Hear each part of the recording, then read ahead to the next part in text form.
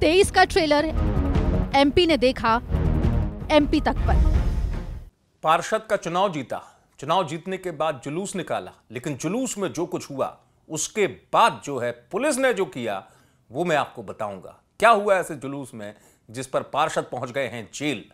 जी हाँ, मामला शाजापुर का है। यहाँ नगर पालिका के लिए चुनाव संपन्न हुए और मतगणना हुई, और मतगणना के बाद जो है वार्ड क्रमांक 12 से जो ये बताया गया है, पीएफआई के समर्थक एसडीपीआई से चुनाव जीते जो पार्षद है, उन्होंने जुलूस निकाला। जुलूस शाजापुर के तमाम मार्गों से गुजरा, जुलूस निकाला और आरोप ये है कि यहाँ पर विवादित नारा जो है पाकिस्तान जिंदाबाद के नारे लगाए गए और नारे लगाए गए और उसके बाद जो है, जो यहाँ पर और अन्य संगठन हैं, वो भी विरोध के तौर पर उतरे और उन्होंने थाने जाकर एफआईआर दर्ज करा दी इस तरीके के विवादित नारे को लेकर, जिसके बाद पुलिस एक्शन में आई।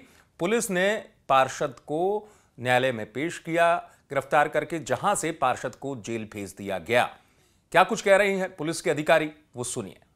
एक ज्ञापन के आधार पर एक पाकिस्तान जिंदाबाद के नारे लगाए गए थे रैली में, जिसमें जाँच के बाद पर जिनके नेतृत्व में रैली निकाली गई थी, जो वार्ड नंबर 12 से अपने अभी नए पार्षद नियुक्त हुए हैं, उनके उनके नेतृत्व में रैली निकाली गई थी, उनको आरोपी बनाया गया है और उन्हें अभी न्यायालय प्रस्तुत किया गया है, जिसमें एक सौ अठासी और एक सौ तिरपन बी के तहत मामला पंजीबद्ध किया गया पुलिस के अधिकारी खुद स्वीकार रही हैं और बता रही हैं इस बात की पुष्टि करते हुए पुलिस अधिकारी कह रही हैं कि हाँ यहाँ पर इस तरीके का विवादित नारा लगाया गया था।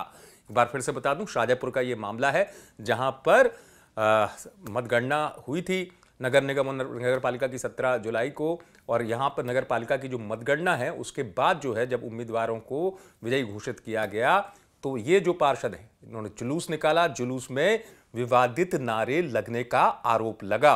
जुलूस शहर के तमाम मार्गों से गुजरा और इसी को लेकर आपत्ति जताई गई कि इस तरीके से जुलूस में नारे क्यों लगाए गए? यही वजह है कि जो विश्व हिंदू परिषद संगठन है यहाँ का, वो थाने पहुँचा और एफआईआर दर्ज कराई। एफआईआर दर्ज कराई, जिसके बाद पुलिस भी हरकत में आई। पुलिस ने, जैसा मैंने आपको बताया शुरुआत में, गिरफ़्तार किया, उसके बाद न्यायालय में पेश किया, जिसके बाद जेल भेजा गया है पार्षद को। लेकिन इस पूरी स्थिति में अब ये बड़ा एक्शन लिया गया है क्योंकि वाकई सवाल उठ रहा था कि जुलूस निकालना तो ठीक है, लेकिन जुलूस में इस तरीके का विवादित नारे लगने के, लगाना कहाँ तक सही है? फ़िलहाल पुलिस ने इस मामले में एक्शन लिया है। शाहजहापुर से आप तक खबर पहुंचाई हमारे संवाददाता मनोज पुरोहित ने, आप देखते रहे एमपी तक।